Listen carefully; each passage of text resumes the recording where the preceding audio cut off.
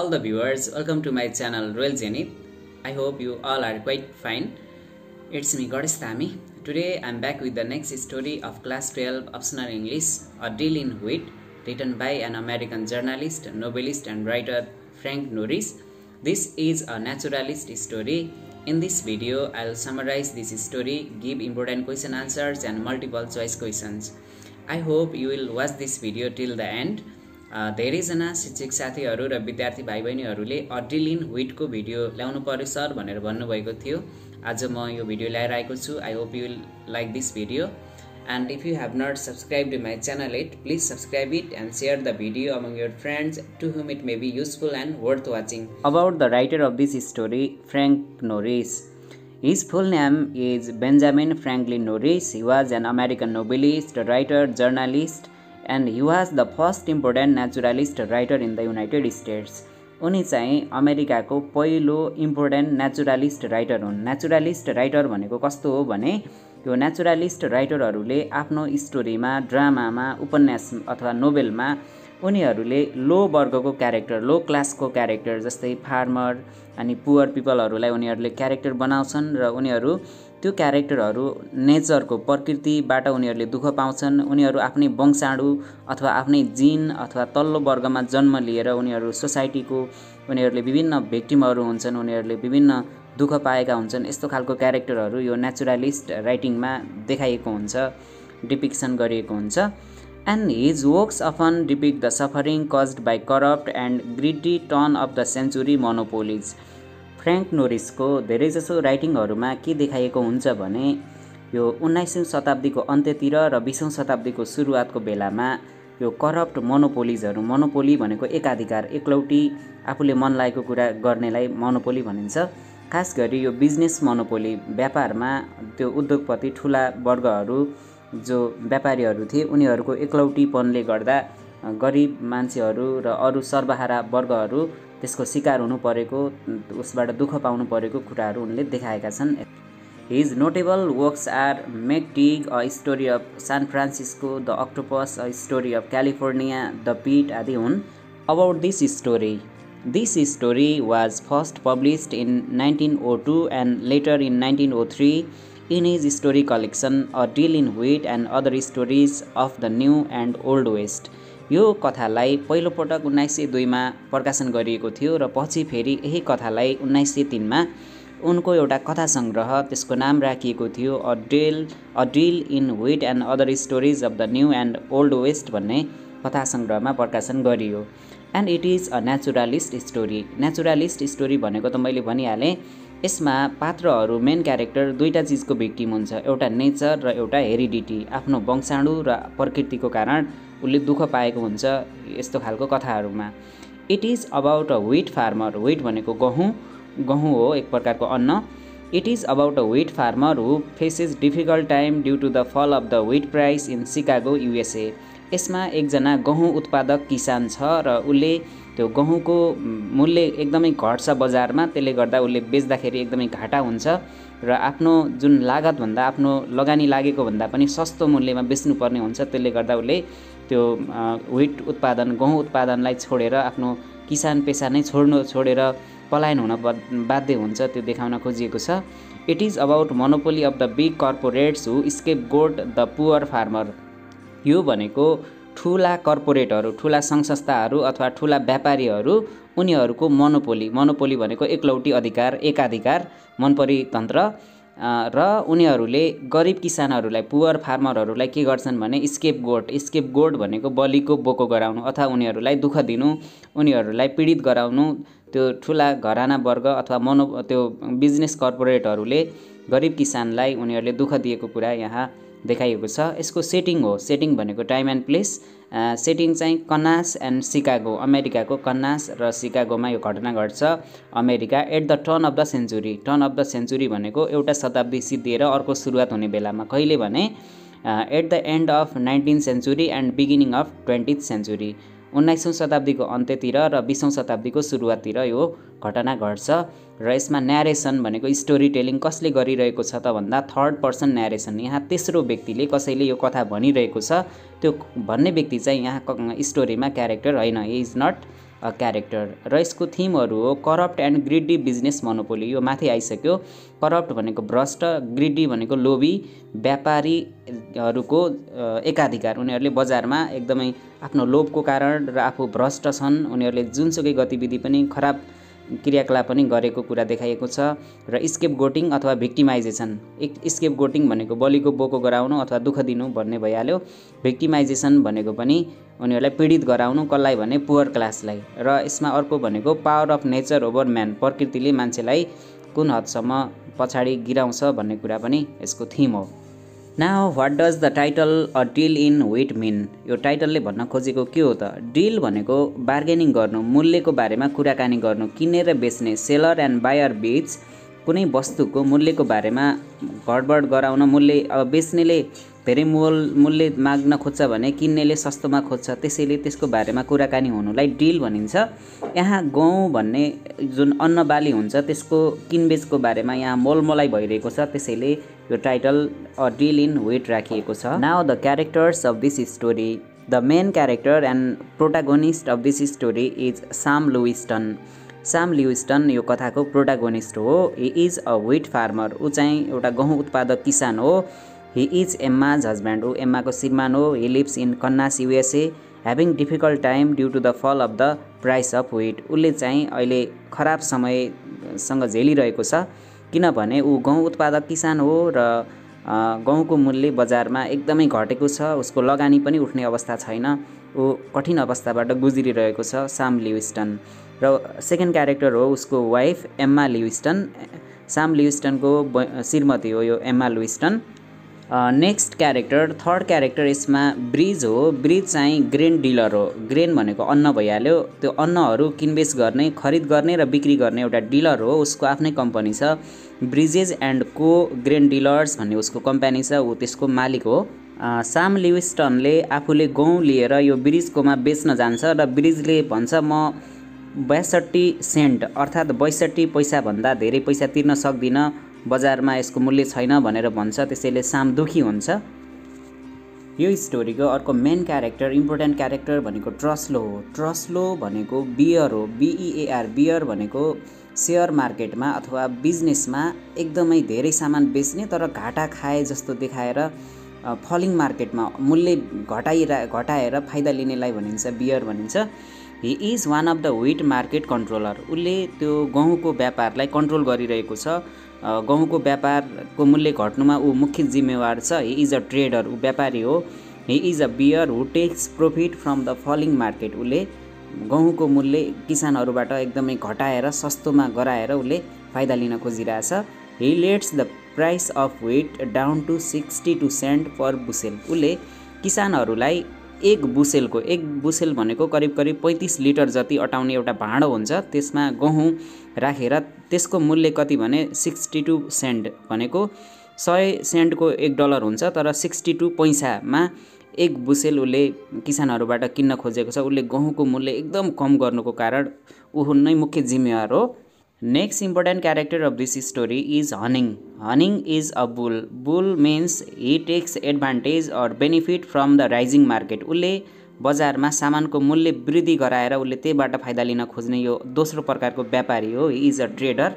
उसले सिकागोको गहुँको व्यापारलाई मूल्य बढाएर आफूले फाइदा लिन खोजिरहेको छ he is another wheat market controller in Chicago अमेरिकाको सिकागोमा गहुँको व्यापारमा उसले मूल्य वृद्धि गरिरहेको छ is a bull who takes profit from the rising market उसले मूल्य वृद्धि गराएर फाइदा लिन्छ he is he increases the price of wheat उसले मूल्य वृद्धि गरेर बेच्छ अर्को character minor character mister Gates हो मिस्टर गेट्स चाहिँ हनिङको रिप्रेजेन्टेटिभ हो उसको प्रतिनिधि हो यसले गएर ट्रस्लो जुन बियर मार्केटको जुन नायक छ ठुलो मान्छे त्यो ट्रस्लोसँग गएर सम्झौता के गर्छ भने हनिङले यो ट्रस्लोलाई एक लाख बुसेल गहुँ बेच्दैछ त्यो गहुँ विदेश निर्यात गर्नको लागि हो हनिङले ट्रस्लोलाई प्रति बुसेल एक बुसेलको एक डलर दस सेन्टको दरले उसले बिक्री गर्दैछ यो सम्झौतामा हस्ताक्षर गर्ने यो हनिङको प्रतिनिधि हो यो मिस्टर गेट्स यसमा अरू तिनजना क्यारेक्टरहरू जस्तै गोइङ किमबार्क र मेरियम चाहिँ यो हनिङको मान्छेहरू हो हनिङको मान्छेहरू हो हनिङको प्रतिनिधिहरू हो उनीहरू पनि उसले हनिङको पक्षमा काम गर्छ यिनीहरू पनि यो बुल मार्केटको मान्छेहरू भयो अर्को क्यारेक्टर बिल्ली यो बिल्ली पनि एउटा ब्रोकर हो ऊ दलाल हो त्यो मार्केटमा वेट मार्केटमा काम गर्ने एजेन्ट हो यो चाहिँ पनि हन हनङको सट उस पक्षमा काम गरिरहेको छ हनङको पक्षमा काम गर्ने यो पनि बुल मार्केटको एउटा प्रतिनिधि नै भनौँ र अर्को एउटा क्यारेक्टर पनि यो हनुङकै पक्षको हो यो पनि साइरस राइडर भन्ने साइरस राइडर भन्ने चाहिँ ऊ डिटेक्टिभ हो ऊ जासुस हो जासुसले उसले केही कुरा अनुसन्धान गर्छ यो पनि यसको क्यारेक्टर हो now I'm going to the summary of this story summary सुरु गर्नुभन्दा पहिले यो दुईवटा टर्म्सहरू बुल र बियर भन्ने हामीले बुझ्न जरुरी छ बियर भनेको त्यस्ता व्यापारीहरू traders those traders who take advantage or benefit from the falling market जब मार्केटमा सस्तो हुँदै जान्छ सामान एकदम सस्तोमा बिक्री हुने बेला हुन्छ त्यो बेलामा फाइदा लिनेहरूलाई बियर भनिन्छ भने बुल भनेको सामान महँगोमा बेचेर एक्सपेन्सिभ गराएर त्यसबाट प्रफिट लिने राइजिङ मार्केटबाट फाइदा लिने बुल र फलिङ मार्केटबाट फाइदा लिनेलाई यहाँ बियर भनिन्छ यो स्टोरीभरि आवश्यक हुने भएकोले यो भाइ बहिनीहरूले जान्न जरुरी छ यो स्टोरीमा पनि एउटा बुल र एउटा बियर गरी दुईवटा इम्पोर्टेन्ट क्यारेक्टरहरू छन् जस्तै बुल भनेको सामान महँगोमा बेचेर गहुँलाई महँगोमा बेचेर फाइदा लिन खोज्ने भनेको हनुङ हो भने सस्तोमा किन्न खोजेर फाइदा लिने भनेको बियर चाहिँ यहाँ ट्रस्लो हो त्यसैले हनुङ भनेको बियर बुल हो भने ट्रसलो चाहिँ बियर हो र यिनीहरूको वरिपरिका अरू मान्छेहरू यसका यिनीहरूका यिनीहरूको अन्डरका अरू मान्छे भनेको पनि अब हनुङको पछि लाग्ने बुल्स भइहाल्यो ट्रस्लोको पछि लाग्ने भनेको बियर्ज भयो now summary of this story a deal in wheat is a naturalist story written by an American writer Frank Norris in naturalist fiction characters are from the lower or ordinary class and they become the victims of the environment and heredity यो कथा एउटा naturalist कथा हो एउटा प्रकृतिवादी कथा हो frank नोरिसद्वारा लिखित र यो यस्तो खालको कथामा नेचुरालिस्ट कथामा सामान्य एकदम तल्लो वर्गका पात्रहरू हुन्छन् जस्तै किसान गरिब मान्छेहरू यसका कि क्यारेक्टरहरू हुन्छन् र उनीहरूलाई दुईवटा चिजले धोका दिन्छ त्यो के हो भने एउटा इन्भाइरोमेन्टले प्रकृतिले धोका दिन्छ उनीहरूलाई एउटा हेरिडिटी उनीहरूको वंशाणु अर्थात् उनीहरू तल्लो वर्गमा भएर जन्मिनु नै उनीहरूको लागि अभिशाप हुन्छ यो कुराहरू देखाइएको हुन्छ this story is divided into five parts यो कथामा पाँचवटा भागमा बाँडिएको छ यो कथा फर्स्ट पार्ट हो the bear wheat at sixty two यहाँ द बियर भन्ने बित्तिकै तपाईँले अब त्यो जनावरलाई नसम्झिनु होला बियर भन्ने यहाँ बियर भनेको के हो भने फलिङ मार्केटबाट फाइदा लिने भनेको मार्केटमा सामानको मूल्य एकदमै कम भएको बेलामा टन्नै किन्ने र पछि फाइदा लिनेलाई भनिन्छ बियरमा यो बियर भनेको र अर्को the bull wheat at ten dollar ten भनेछ द बुल भनेको त जब मूल्य वृद्धि हुन्छ त्यो बेला सामान बेचेर फाइदा लिन खोज्नेलाई यो बुल भइहाल्यो यो बेलामा चाहिँ विटको मूल्य गहुँको मूल्य कति भएको छ भने एक डलर टेन सेन्ट एक रुपियाँ दस पैसा भने जस्तै एक डलर टेन सेन्ट हुन्छ र अर्को च्याप्टर अर्को पार्ट थ्री यसको स्टोरी हो द पिट पिट भनेको गाउँको कारोबार हुने किनबेच गर्ने त्यो ट्रेडरहरू व्यापारीहरू भेला हुने ठाउँ हो द पिट भनेको र चौथोमा द बेल्ट लाइन भनेको अमेरिकाको सिकागोको वरिपरि जुन एउटा चक्रपथ छ गोलो एउटा रोड छ त्यसलाई द बेल्ट लाइन रोड भन्न खोजेको हो यहाँ र लास्टमा द ब्रेड लाइन भनेको एउटा बेकरीको अगाडि रोटी बाँडिएको छ जुन अब माग्ने भिकारीहरूलाई खाना नपाएकाहरूलाई त्यो त्यसमा मान्छेहरू पाउरोटी खानको लागि लाइन लाग्छन् त्यसलाई यहाँ ब्रेड लाइन भनिएको हो the first part of this story begins at Kansas USA यो अमेरिकाको कन्नास भन्ने ठाउँबाट यो घटनाको स्टोरीको सुरुवात हुन्छ where Sam Lewiston a wheat grower farmer lives with his wife Emma त्यो कन्नास भन्ने ठाउँमा एउटा साम लुइस लुइस्टन आफ्नो श्रीमती एम्मासँग बस्छ र सामले के गर्छ भने उसले गहुँ उत्पादन गर्छ ग्रो गर्छ अथवा ऊ फार्मिङ गर्छ ऊ किसान हो they are having difficult time due to the fall of wheat price in the market उनीहरू एउटा कठिन समय झेलिरहेका छन् किनभने बजारमा गहुँको मूल्य एकदमै घटेको छ त्यसैले उनीहरू फाइदामा गइरहेका छैनन् घाटा हुने अवस्था छ Emma says that they can go to Chicago giving up wheat farming and get some help from Lewis brother जो अब यति बेला एम्माले आफ्नो श्रीमानलाई के भन्छ भने अब अति नै भयो हामी घाटामा धेरै गयौँ भने त हामीले यो फार्मिङ छोडेर बरु सिकागो सहरमा जाउँ तपाईँको जुन भाइ जो छ जेओई जो भन्ने जुन छ उसले केही सहयोग गर्ला हामी त्यहाँ जाउँ भनेर उसले भन्छे Sam tries to sell his wheat once again तर पनि एकचोटि भए पनि अब गहुँ बेचेर हेरौँ न कस्तो हुँदो रहेछ भनेर ऊ कोसिस गर्छ सामले so he goes to Chicago to sell his wheat where meets meets Bridges the wheat dealer and owner of Bridges and Co grain dealer अब सिकागोमा पुगेपछि यो साम लिविस्टनले त्यो किसानले त्यहाँ एउटा व्यापारीलाई डिलरलाई एउटा कम्पनीको मालिक ब्रिज भन्ने मान्छेलाई भेट्छ र उसको एउटा ग्रेन डिलर अन्न ग्रेन भनेको अन्न किन्ने दानाहरू अन्न किनबेच गर्ने एउटा उसको कम्पनी छ त्यसको नाम हो Bridges and Co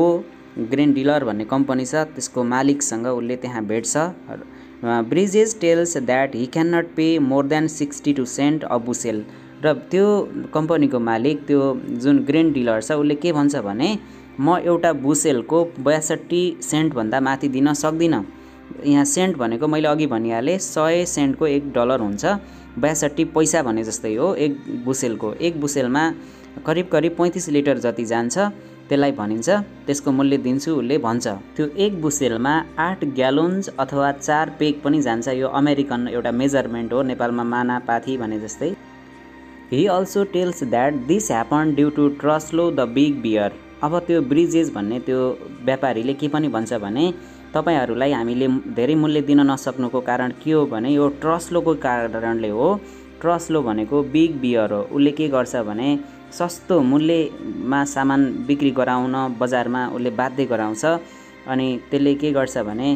यो फलिङ प्राइस बजारमा सस्तो सामान भएको बेलामा उसले फाइदा लिन्छ कसले त ट्रस्टले गर्दा यो मूल्य घटेको हो उसले भन्छ Sam is disappointed hearing this because it cost a dollar to grow a bushel of wheat for him यो सुनेपछि साम एकदमै दुखी हुन्छ किनभने उसलाई एक बुसेल गहुँ उत्पादनको लागि करिब करिब उसको एक डलर ख डलर खर्च हुन्छ तर उसको लगानी नै उठ्दैन यो गहुँ बेचेर ऊ दुःखी हुन्छ हे रिटर्न्स होम डिसएपोइन्टेड ऊ दुःखी भएर घर फर्किन्छ he gives off growing wheat because of loss ऊ घाटामा गएर उसले अब गहुँ उत्पादन गर्न छोड्छ उसले त्याग्छ यो स्टोरीको पार्ट वानको title the bear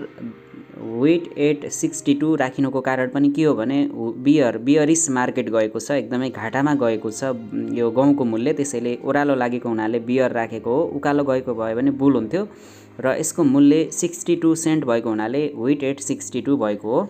the second part of this story takes place after some month यो चाहिँ केही महिनापछि यो घटना घट्छ पहिलो पार्ट घटेको केही महिनापछि it reveals that Truslow and Honrung are controlling the wheat market of Chicago यसबाट के खुल्न जान्छ भने यो दुईवटा ठुला व्यापारीहरू दुईवटा बिजनेस कर्पोरेटहरू ट्रस्लो भनेको बियर सस्तो मार्केट घटाउनमा उसको माहिर छ र होनुङ भनेको यो सामानको मूल्य बढाउनमा माहिर छ यो दुईवटा खेलाडीहरूले गर्दा सिकागोको गहुँको बजार कन्ट्रोलमा रहेको छ Truslow once had let the wheat price fall to sixty two cent per bushel and now हनुङ is raising the price up to one dollar ten cent per bushel यो मध्ये यो अघिल्लो ट्रस्लो भन्नेले गहुँको मूल्य घटाएर किसानलाई मर्कामा पारेर यसले के गरेको थियो भने यसको मूल्य बयासठी सेन्ट पैस बयासठी पैसामा उसले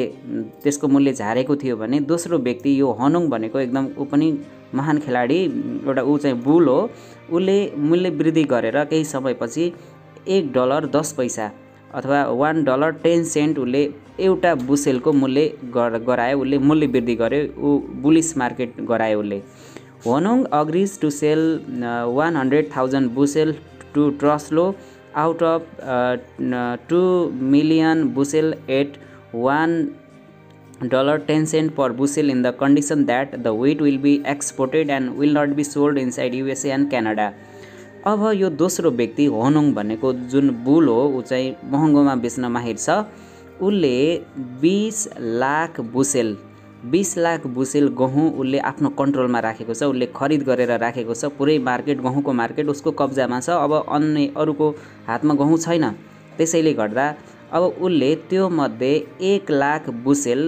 उसले यो कसलाई बेच्दैछ भने यो ट्रस्लोलाई बेच्दैछ कति दरमा त वान डलर टेन सेन्टमा उसले बेच्दैछ र के को लागि भने त्यो विदेशमा बेच्ने प्रयोजनको लागि र त्यो गहुँ युएसए र क्यानाडामा बेचिने छैन भनेर उनीहरूको एग्रिमेन्ट हुन्छ the third part takes place at the pit the pit is the place where the men of the board of trade sell wheat and get profit यो पे पिट भनेको कुन ठाउँ हो भने त्यो ट्रेड बोर्डका यो व्यापार जुन बोर्ड हुन्छ एउटा समिति त्यो मानिसहरूले सामानहरू किनबेच गर्ने अर्थात् त्यो गहुँ किनबेच गर्ने ठाउँलाई पिट भनिएको हो त्यहाँ यो घटना घट्छ केही समयपछि होनुङ and other bulls have started selling wheat at one dollar fifty cent a bushel अब यो बेलामा त अझै मूल्य बढेर कति भयो भने वान डलर फिफ्टी सेन्ट साढे एक डलरमा मूल्य वृद्धि भएर साढे एक डलर पुगेको छ अब यो होनुङ भनेको त मेन बुल भइहाल्यो र अरू बुलहरू अरू ऊ जस्तै ऊभन्दा अलिक साना तर महँगोमा सामान बेच्नेहरू गहुँ बेच्नेहरू पनि त्यहाँ सामान बेचिरहेका छन् होनुङ thinks now no one has wheat except himself अब उसले पुरै बजारको सबै किनेर मैले राखिसकेँ अब म महँगोमा बेच्छु अरू किन् किन्न बाध्य हुन्छन् किनकि अरूसँग गहुँ छैन मसँग किनिहाल्छन् भनेर उसले सोध्छ बट होनुङ्स मेन उसका केही मानिसहरू छन् उसको क्राउड भनिएको छ त्यो तिनजना मानिसहरू गोइङ किम्बाक र मेरियम भन्ने तिनजना मान्छेहरूले they find a mysterious man Kennedy selling wheat at one dollar fifty cent a bushel उनीहरूले त्यो होनुङका तिनजना मान्छेले एउटा अर्को व्यक्तिले पनि यो गहुँ बेचिरहेको one dollar fifty cent per bushel बेचिरहेको उनीहरूले भेटाउँछन् they buy one thousand bushels from Kennedy to on the behalf of होनुङ अब त्यो तिनजना मान्छेहरूले हनुङका तिनजना मान्छेहरूले त्यो केनेडी भन्ने व्यक्तिले पनि त्यो गहुँ बेचिरहेको थाहा पाएर त्योबाट हजार बुसेल उनीहरूले किनेर राख्छन् किन किनकि उनीहरूले त अरूसँग त गहुँ नै नहोस् हामीसँग मात्रै होस् अनि महँगोमा बेच्न पाउँछौँ भन्ने उनीहरूको सोच छ कसको भने यो होनुङको again they hear that someone other than होनुङ is selling twenty five thousand bushels in Chicago अनि उनीहरूले अर्को खबर केही पनि थाहा पाउँछन् भने कोही व्यक्तिले होनुङसँग मात्रै गाउँछ भन्ने उनीहरूसँग धारणा छ अहिले त भनौँ बाहेक अर्को व्यक्तिले पनि पच्चिस हजार बुसेल कसैले सिकागोमा बेचिरहेको उनीहरूले खबर ल्याउँछन् होनुङ अर्डर्स इज मेन अब यो खबर थाहा पाएपछि जुन मालिक हो भनौँ उसले तिनजनालाई अर्डर गर्छ to buy wheat from him to to dominate the market अब उसले आफ्ना मानिसहरूलाई त्यो पच्चिस हजार बुसेल पनि किन्न लगाउँछ किनकि ऊ पुरै गहुँ आफ्नो कब्जामा राख्न चाहन्छ होनुङ thinks that if he doesn't buy all the wheat the bears will control the market and they may drive the price down अब उसले के सोध्छ भने यदि आफूसँग सबै गहुँ भएन भने अर्कोपट्टिको बियर मार्केट जुन सस्तोमा बेचेर मूल्य घटाउन माहिर छन् उनीहरूको हातमा गयो भने त पुरै मूल्य घटाउँछन् भनेर उसले सबै गहुँ आफ्नो कब्जामा राखेर महँगोमा बेच्न उसले खोजिरहेको छ त्यसैले त्यो पच्चिस हजार बुसेल पनि उसले किन्न लगाउँछ the fourth part of this story takes place in Hornung's library at his home अब चौथो भाग चाहिँ होनोङ जुन बुल हो महँगोमा बेचेर फाइदा लिने त्यसको घरको लाइब्रेरीमा घटना हुन्छ Hornung's broker Billy and detective Cyrus Ryder are also there at the conference to discuss about eighty thousand bushel that होनोङ recently bought भर्खरै होनोङले विभिन्न स्रोतबाट असी हजार उसले गहुँ किनेको छ त्यसको बारेमा त्यहाँ कन्फरेन्स अथवा डिस्कसन भइरहेको छ उसको लाइब्रेरीमा त्यही बेलामा उसको ब्रोकर र जुन ब्रोकर भनेको दलाल अथवा एजेन्ट र उसको डिटेक्टिभ के भने जासुस साइरस त्यसमा सहभागी भएका छन् र त्यही बेलामा यो साइरस राइडर भन्ने जासुसले के पत्ता लगाउँछ र उसले के भन्छ भने Ryder discloses that the bushels are the same that Truslow had purchase from हनुङ to export अब उसले के भन्छ भने त्यो असी हजार बुसेलहरू अहिले हनुङले किनेको छ विभिन्न स्रोतबाट त्यो आखिर कुन हो भने त्यही हनुङले नै बेचेको हो त्यो कसलाई बेचेको हो त ट्रस्लोलाई बेचेको थियो विदेश निर्यात गर्ने भनेर बेचेको थियो तर आखिर तिनीहरू विदेश नलगेर विभिन्न स्रोतबाट आखिर घुम्दै फिर्दै हनुङकोमै आए हनुङले नै किन्यो Ryder knew it when it disguise himself as a hobo and went to the belt line road that circles round Chicago city अब उसले कसरी पत्ता लगायो भने यो हनुङको जुन डिटेक्टिभ हो जासुस हो राइडर उसले होबो एउटा होमलेस पर्सन एउटा बेसहारा मानिसको नाटक गरेर त्यस्तै लुगा लगाएर ऊ त्यो बेल्ट रोड भन्ने सिकागोको वरिपरि जुन गोलो सर्कल फन्को मार्छ त्यो रोडमा गयो र उसले त्यहाँ पत्ता लगायो कि यो सबै सामानहरू जुन हनुङबाटै किनेर ट्रस्लोले लियो ट्रस्लोले फेरि महँगोमा हनुङलाई बेचेको छ यो उसलाई उसले पत्ता लगायो he found that Truslow purchased the wheat at one dollar ten cent from होनुङ and sold him again at one dollar fifty cent and shuttled the same wheat around the city on trains and made it look as if they had just arrive from Kansas and Iowa अब उसले यो ट्रस्लो भन्ने जुन बियरिस मार्केटको जुन नायक छ उसले सस्तोमा सामान गराउँछ गिराउँछ त्यसले के गरेको रहेछ भने विदेश बेच्छु भनेर एक सय एक डलर दस सेन्टमा त्यो ट्र हनुङबाट किन्यो र घुम्दै फिर्दै त्यो ट्रेनमा राखेर त्यही सहरलाई फन्को मारेर ट्रेनमा उसले ट्रान्सपोर्ट गरेर त्यसमा ढुवानी गरेर फेरि घुम्दै फिर्दै उसै कहाँ ल्याएर गाउँबाट आएको हो यो त भर्खर आएको गाउँ हो भनेर बेच्नलाई विभिन्न मान्छे मार्फत त्यो हनुङ कहाँ पठायो कतिमा बेच्यो कतिमा बेच्यो भने वान डलर फिफ्टी सेन्टमा जबकि यहाँ कति नाफा आयो एक बुसेलमा चालिस सेन्ट त नाफा नै आयो एक एक दसमा किनेको एक पचासमा उसले बेच्यो त्यो अनि उसले के पनि देखायो भने made it look as if they had just arrive from Kansas Kansas भनेको त त्यो साम लिविस्टन बस्ने त्यो गाउँ भयो किसानहरू बस्ने युवा भन्नेको अर्को गाउँ त्यो फार्मरहरूकोबाट आएको जस्तो देखाउनलाई ट्रेनमा चढाएर अनि विभिन्न मार्फत घुम्दै फिर्दै त्यो होनुङका बेच्न लगायो होनुङ laughs at himself when he knows he has been fooled and cheated अब ओहो मलाई ट्रस्टलोले यसरी मलाई मूर्ख बनायो उल्लु बनायो मेरै गाउँ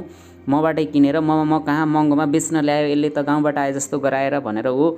आफू ठगिएको महसुस गर्छ र ऊ आफ्नै मूर्खतादेखि हाँस्छ यो पार्टको टाइटल द बेल्ट लाइनको अर्थ हुन्छ बेल्ट लाइन रोड भन्न खोजेको हो त्यो सिकागोको वरिपरिको सर्कल गरिएको road the fifth part of the story takes place in Chicago in front of a Vienna bakery at one am in the morning where loaves of bread are given to the needy ones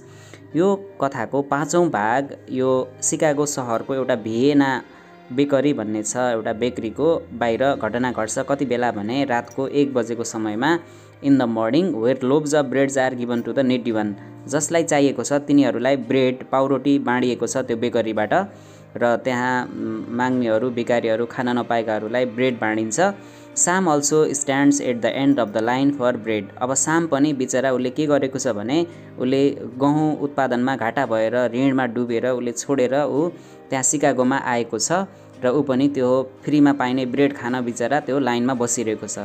it is drizzling अब सिमसिम पानी परिरहेको छ most of the people in line are professional beggar तर त्यो लाइनमा भएका धेरै चाहिँ के हुन् भने उनीहरू पेसागत रूपमा उनीहरू भिकारी नै हुन् उनीहरू काम गर्दैन धेरै छन् त्यस्ता भिकारीहरू some of them are idle people who lost job and some are sick अब त्यो लाइनमा भएका केही मान्छेहरू आइडल पिपल काम नभएका जो रोजगार गुमाएका मानिसहरू छन् भने अरू कोही बिरामीहरू खान नपाएकाहरू पनि त्यो लाइनमा फ्रीमा ब्रेड पाइने ठाउँमा छन् the queue of the stragglers stragglers भनेको यताउता फोकटमा भौतारिने मान्छेलाई भनिन्छ they started they started from one ना फ्रम नाइन पिएम उनीहरूको लाइन चाहिँ त्यहाँ नौ बजेबाट सुरु हुन्छ एक बजे चाहिँ जबकि ब्रेड बाँडिन्छ but this night instead of distributing bread of placard placard is pasted there अब यो रात चाहिँ अब त्यो ब्रेड बाँडिँदैन त्यो रात चाहिँ एकजना मान्छे आएर त्यहाँ एउटा नोटिस बोर्ड प्लाकार्ड भनेको एउटा लेखिएको प्रि प्रिन्ट गरिएको नोटिस त्यहाँ टाँस्छ जसमा लेखिएको छ price of wheat has been increase to two dollar a bushel there will be no bread distribution from this bakery until further notice अब त्यो कागजमा के लेखिएको छ भने गहुँको मूल्य एउटा बुसेलको दुई डलर भएको छ एकदमै मूल्य वृद्धि भएको कारण हामी तपाईँहरूलाई फ्रीमा ब्रेड दिन असमर्थ छौँ अर्को सूचना जारी नभएसम्म यो ब्रेड वितरण स्थगित गरिएको छ भनेर त्यहाँ नोटिस टाँसिन्छ एभ्री वान गेट्स डिसएपोइन्टेड अब जुन ब्रेड खाने आशमा लाइनमा लागेकाहरू सबै दुखी हुन्छन् Sam had sent his wife to her sisters house in Topeka and given his entire property to his creditors due to loss in wheat farming अब यो सामले चाहिँ आफ्नो श्रीमतीलाई चाहिँ उसको दिदीकोमा बस्न पठाएको हुन्छ जबकि उनीहरू ऋणमा डुबे त्यो गहुँ खेतीबाट र आफू चाहिँ सिकागोमा आएर केही समय काम गर्छु पछि एउटा पर्मानेन्ट जब पाइयो भने हामी सँगै बसौँला भनेर ऊ सिकागो सहरमा आउँछ for a short time Sam had worked in his brothers small hat factory and later it was close due to डेप्ट उसले केही समय आफ्नो दाई अथवा भाइ जो भन्नेको उसको एउटा ह्याट टोपी उत्पादन गर्ने फ्याक्ट्रीमा काम गर्छ तर केही समयपछि त्यो पनि के हुन्छ भने बन्द हुन्छ ड्यु टु डेब्ट ऋणमा डुबेर उसले पनि फ्याक्ट्री बन्द गर्छ र ऊ बेरोजगार हुन्छ later a park bench became his home अब सामले उसको रातहरू बिताउने भनेको पार्कमा रहेको बेन्चमा ऊ रात बिताउँछ उसको बास त्यहीँ हुन्छ ऊ एकदमै दयनीय अवस्थामा आइपुग्छ at last Sam gets the job of a street cleaner उसले सडक सफा गर्ने एउटा जागिर पाउँछ क्लिनरको जागिर पाउँछ he gets promoted to the post of first shift boss उसको बडुवा भएर पहिलो सिफ्टको बोस बन्छ त्यसपछि डिपुटी इन्सपेक्टर देन इन्सपेक्टर बन्छ अनि यसरी नै उसको बडुवा हुँदै जान्छ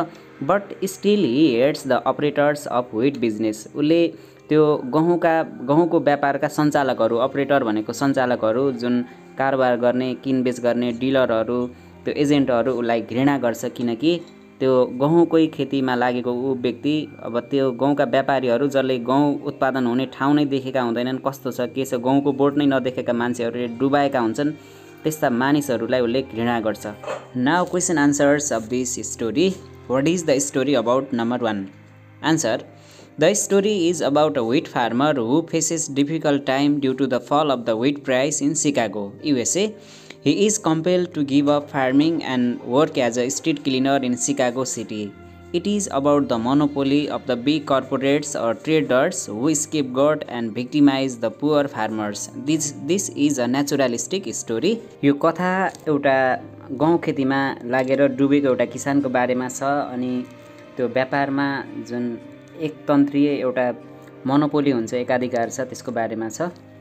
question number two what is the setting of the story the setting of this story is Kansas and Chicago America at the run at the turn of the century यो कथाको घटना अमेरिकाको कन्सास र सिकागो सहरमा हुन्छ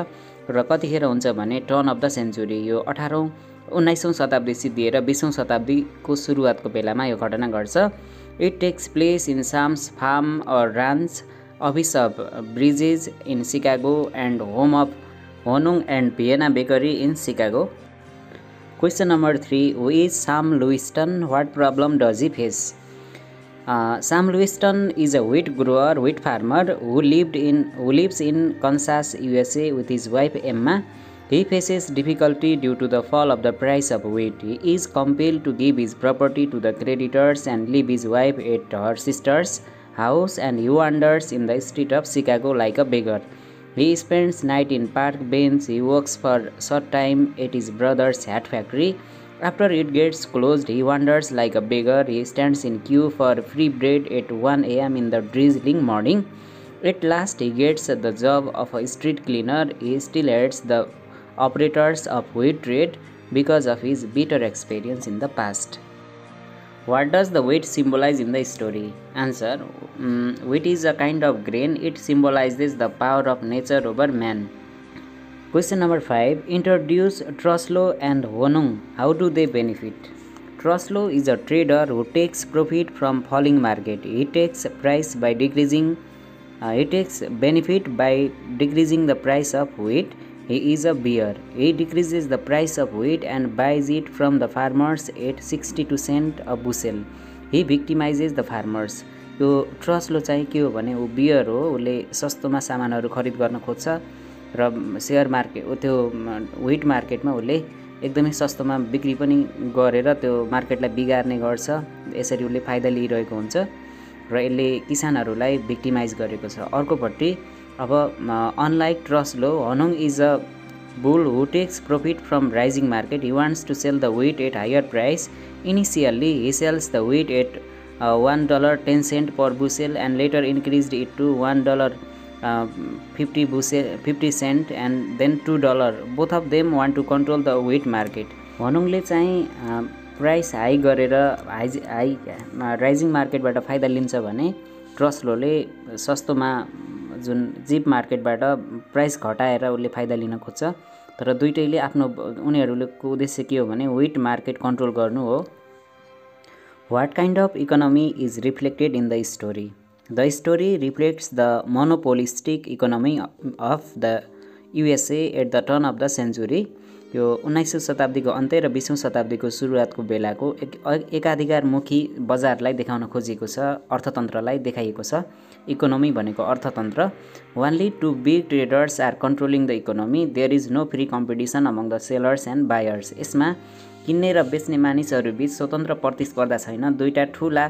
व्यापारीहरूले विट मार्केटलाई control गरिरहेका छन् traders are corrupted and greedy व्यापारीहरू एकदमै लोभी र दुष्ट र जुन भ्रष्ट छन् for the sake of money they are victimising the lower class people like farmer उनीहरूले गरिब किसानहरूलाई उनीहरूले शिकार बनाइरहेका छन् आफ्नो फाइदाको लागि by hook or crook they want to control the market hence they are practising unhealthy practices in wheat market उनीहरूले त्यो विट मार्केटमा गहुँको व्यापारमा उनीहरूले अस्वस्थ प्रतिस्पर्धा गरिरहेका छन् यस्तो खालको बजारलाई यस्तो खालको अर्थतन्त्रलाई यहाँ देखाइएको छ यो कस्तो अर्थतन्त्र भने monopolistic question number seven what is the theme of the story the story's main theme is the victimisation of the farmers by the corrupted wheat traders for their selfish motive आफ्नो व्यक्तिगत स्वार्थको लागि व्यापारीहरूले भ्रष्ट व्यापारीहरूले निर्दोष किसानलाई उनीहरूले दुःख दिएको कुरा सताएको कुरा उनीहरूलाई शिकार बनाएको कुरा यसमा देखाएको छ यो मेन थिम हो it's another theme is monopoly in business यो व्यापारमा हुने एक एकतन्त्रीयता जुन एकाधिकार छ त्यो बारेमा पनि देखाउन खोजिएको छ and scapegoating of the lower class people यो गरिब र तल्लो वर्गका मानिसहरूलाई बलिको बोको बनाउनु अथवा दुःख दिनु यसमा देखाउन खोजिएको छ it deals with the theme of power of nature over man प्रकृतिले मान्छेलाई कुन हदसम्म नचाउँछ कुन हदसम्म पीडित बनाउँछ भन्ने कुरा देखाइएको छ man has become the victim of his heredity ऊ यो एउटा व्यक्ति साम लुइस्टन ऊ आफ्नो हेरिडिटी अर्थात् वंशाणु ऊ जस्तै लोअर क्लास पिपल अथवा पुवर फार्मर भएर जन्मिनुमा उसको वंशाणुले उसलाई दुःख दिएको छ and being born as a farmer has been curse for him उसलाई किसान भएर जन्मिनु किसानी गर्नु उसको लागि श्राप साबित भएको छ यो देखाइएको छ यहाँ question number eight explain a deal in wheat as a naturalistic story naturalism भनेको के हो पहिला त्यो बुझौँ naturalism is a literary trend or movement यो साहित्यको एउटा चलन हो द्याट स्टार्टेड इन युरोप युरोपको फ्रान्सबाट खास गरी सुरु भयो it was started by Emile Zola यो इमाइल झोला भन्ने लेखकले सुरुवात गरेका हुन् in naturalistic story characters are from the lower or ordinary class and they become the victims of environment and heredity नेचुरलिजममा छुटाउन नहुने चिज भनेको इन्भाइरोमेन्ट वातावरण र आफ्नो वंशाणुको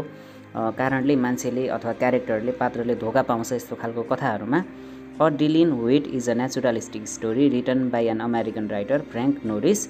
it has the ordinary central character Lewis who is a farmer by profession यसमा पहिलो विशेषता त के मिल्यो भने यो क्यारेक्टर जुन सेन्ट्रल क्यारेक्टर प्रोटागोनिस्ट